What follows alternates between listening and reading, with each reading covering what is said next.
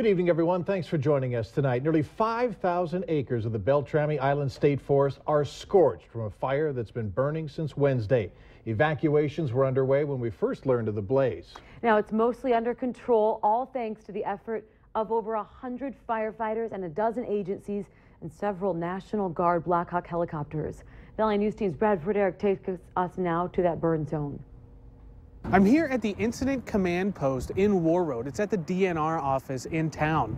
We're just about ready to head out to the fire, but before we go, they had to give me some special equipment. Flame-resistant shirt, flame-resistant pants, gloves, and a hard hat. Let's go. About 12 miles straight south of town brings you to the forest. And as Jeff Edmonds as my guide, we began seeing scorched ground and trees as crews put out hotspots. And so we're reinforcing fire lines that have been put in mostly on that very first night with, with bulldozers. The heavy equipment came in and plowed everything down to the dirt so the fire would stop. Think of Beltrami Island State Forest as a state-owned tree farm. They plant them, sell the rights to logging companies who harvest the lumber, and then the trees are replanted. Some burned areas of timber were just sold. And these trees here are not mature. They were not intended to be harvested for another 40 years maybe. So we are so deep in this forest that we got stuck in a mud hole and now we have to hike out to uh, get out of the fire zone. We weren't in danger from the fire. It's just in small pockets spread across the 4,700 acres. We were mostly in danger from the burned out trees falling on us due to the screaming winds. We had to hoof it at least two miles before we could find someone to help. Edmund says it's sad to see so much hard work go into a forest like this. The trees are planted in nice straight rows. But he says fire can sometimes be good for the ecosystem. In Warroad, Bradford Eric, Valley News Live. Crews say it's rare to see a fire of this size this early in the year, and they say there's actually still frost underground if you dig several inches. And if this fire had happened two weeks from now, it could have been much worse. And there's another factor to talk about tonight with regard to the fire, something that's been playing a major role in all recent grass fires. Let's head over to Hutch Johnson to get the very latest. Hutch? Well, that has been the wind, and it's been no stranger to our region. This spring, in fact, this week we've had dust blowing around. We've had, well, wind-fed fires blowing around, even into the evening hour hours tonight. 5 to 15 mile per hour winds continue from the north. And we are expecting the winds to continue and pick up tomorrow, and here is why. A storm system, which is brewing in the central Rockies, will move north into the northern plains. As it does so, the wind will increase from the south southeast. Now, it will not be as strong as the 50 mile per hour gusts we saw earlier in the week, but the rain and the wind will also combine to produce some tricky firefighting uh, conditions. So Saturday, warm, windy, and dry, another high fire danger day, but relief is in sight. I'll have details on exactly how much rain we're expecting here in a few minutes. Mike? We look forward to that. Thanks. Now, rain isn't the forecast that many of us generally like, but right now it is badly needed for farmers in the whole region. And what a difference a year makes. Farmers say last year they had to battle the wet conditions to save their crops. A different story now. Farmers hoping for an inch or more to help the seeds grow. And as Valley News Team's Macy Enger found out this weekend, will determine how the rest of the season goes. His house too. The Clemenson family is happy to chat about the dry weather. Even though it's great to be outside, the last thing on their minds is yard work. You don't see these kind of temperatures and this kind of sunshine and being out until really, I mean, if we're honest, June. So I don't mind letting us see brown and not see green until then. They don't plan to water the yard any earlier than normal, which helps the pocketbook. And most of their neighbors have followed suit. I haven't seen other folks in the neighborhood having systems turned on or folks bringing out their own little sprinkler system. Homeowners aren't the only ones that have to deal with these dry conditions. Farmers say if this weather keeps up, it could put them behind. We might have to replant some stuff, and it, uh, it's kind of dependent on what nature does for us right now. Rain is in the forecast, and the magic number for the Craigness farm is about a half an inch. That way, crops already planted can germinate, and the dirt can stay put rather than blow around and lose nutrients. The same challenge as all the big acreage corn and soybeans farms are having with, you know, we can get the seeds in the ground, but if they don't start, then we're not really started yet. Water is coming from a series of hoses running along the field, and they'll be used until Mother Nature lends a hand. If it doesn't rain on Sunday, then we just carry on the plan till the next time we hope it rains. Crossing their fingers that that comes sooner rather than later. North of Moorhead, Macy Inger, Valley News Live. An NDSU expert says the valley's soil is in good shape for farming and needs only about a half inch to help settle the dust and help with planting. But the north and southwest portions of North Dakota are actually too wet.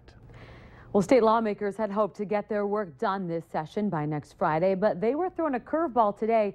Some say there's no way they'll be finished by then. Typically, new bills aren't able to be brought up this late in the game, but this one was submitted as delayed, and if passed, it could restructure the oil tax formula. Republicans say the bill will create a safety net for the state's oil revenues should the larger trigger come into play, but the minority party says it will actually have grave consequences. What was proposed today was a whopping 30% permanent cut to the oil extraction tax. Uh, that is going to cost North Dakota tens of billions of dollars uh, in the coming decades. However, the majority leader in the House says that's not the case, and there's still time to hear this piece of legislation. There is no right or wrong time for this. We, uh, it has no fiscal effect on this biennium. That we're, we're not changing one thing in our budgets because we have a supposed trigger in place. This is about the future of the state and the oil industry, and that's what we're addressing today. The bill will be heard Monday in a joint Finance and Tax Committee hearing. Students for Life are calling the Fargo School District's response we reported on yesterday as amateurish and inaccurate. In their response, the Fargo School District seemed to be willing to allow pro-life groups in the school as long as they complete the required paperwork, which the group had previously failed to do. That's after the district told students several weeks ago that they would not be allowed to form the groups because they were considered outside agencies. Students for Life America say they believe as the end of the year approaches, the school district is trying to push this issue under the rug for a few more months. But Fargo School says it's convening a task force to review its policies on and associated with student clubs and groups, and it will be completed by this fall. Now, if you'd like to read this full story, we have it online for you. Just head to valleynewslive.com and search this story. It's more common than we think for some people to live in storage units. That's according to a local homeless shelter. Just this morning, a woman was rescued from a storage unit in North Fargo. The woman was living at Bison Storage Units on 14th Avenue North temporarily and got stuck inside. Fargo police say the woman was taken to the hospital for hypothermia and had to be checked over.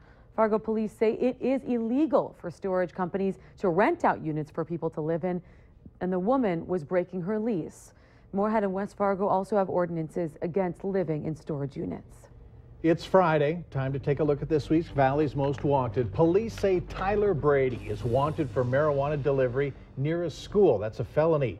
Brady has set up a court date for Friday, May 1st, but the warrant stays active until that appearance.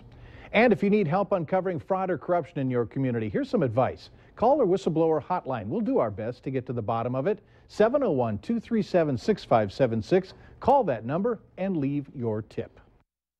Valley News Live 10 at 10 continues with no wait weather a pretty fabulous Friday yeah, to yes, cap off yes. the week. Yeah, we've been battling wind. We've been battling yeah. some pretty tough conditions out there. Yeah. Relief for farm fields, relief for firefighters, and all of us as we're waiting for that green of spring. Uh, and I'm anxious for the rain. Yes, and I definitely. think a lot of us are. And taking a look at the forecast, it's looking pretty good. This evening, the conditions quite quiet. North northeast winds are blowing at 12 miles per hour. It's 58 degrees, and your relative humidity a very dry 20 percent. 57 in Wadena. It's 41 in Roseau, 45 for Grand Forks, and flip those numbers around. 54 in Valley City this hour. Take a look at our tower cam time lapse as we enjoyed beautiful colors in the skies now with all of the wind and fires. It's kicking up dust and there's all kinds of smoke in the air. So the colorful skies are even more colorful, bouncing those colors from the white light of the sun through our lower atmosphere. Hey, a real quiet evening once that wind settled down this evening, and it looks like that's going to continue for the rest of our sleeping hours as the radar shows absolutely nothing here in the northern plains. Some rainfall making its way all the way to northern Nebraska now as a low pressure system that's been bringing snowfall and heavy snowfall to the mountains of Colorado is now working its way to the or slowly to the north and east. Some heavy bands of rain already setting up. And right now, this system is just very slowly moving as it's cut off from that jet stream flow, which is way up north in Canada.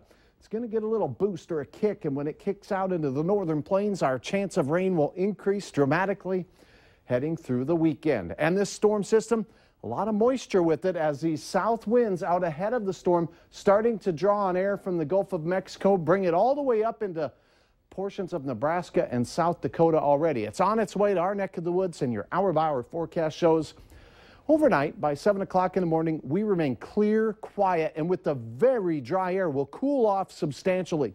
35 to 40 degrees across the region to start our weekend. Now, in the mid morning hours, here come the clouds to our southern counties as temperatures climb into the 60s for almost everyone. And by the afternoon, we'll be in the 60s everywhere and even 70s in the southern Red River Valley for a repeat performance. The wind direction from the south southeast tomorrow will begin to get gustier later in the day, especially in our southernmost counties. So for firefighters up to the north, it looks like another day to battle, and that fire danger will remain quite high across a wide spectrum of the region. Heading into the nighttime hours when our best chance of showers and even a rumble of thunder could make their way into the area. Ellendale down towards Aberdeen, Lisbon, and even out towards Hankinson, a chance for some 10 o'clock showers. Those chances increase as we go through Saturday night. Oh, when we head to bed, watch this. This moisture wraps its way through the Red River Valley and makes its way into western Minnesota and taking aim on the area where the fires have been such a problem. And many of us will get a good chance of some soaking showers. By Sunday mid morning, it's out of here, but the gusty northwest winds come in. And take a look at this. Late in the day, a chance for some of the rain to mix with or change over to snow into our northernmost counties. A decent chance at some half inch to one inch rainfall totals right through the Red River Valley with drier conditions the farther north and west that you go through the region. Fargo's planner tonight dropping into the 40s, even upper 30s possible briefly. And then going through our day, temperatures will be rising into the 70s and Fargo once again with winds gusting to 25 miles per hour. Looks like 60s for most of our northern county neighbors along Highway 2 and points north 71 for the Wahpeton area. Take a look at Tracy's gorgeous shot again, second night in a row of some aurora borealis. Well, at least we've had something very colorful in the sky to look at. It does look like we're going to see some significant wet and windy weather on Sunday and cooler weather next week. Okay. I want to tell you about a house fire that crews are responding to mm -hmm. north of Moorhead. It's happening in Clay County. The address is 2284 100th Avenue North. Reported as a house fire. We have a crew on the scene as well. We'll keep you posted not only here but on valleynewslive.com. Still to come, sick of paying for all those cable channels you don't watch? Well, the deal Verizon is rolling out. We'll tell you. But first, how social media may be playing a role in the self-esteem of our youth. You're watching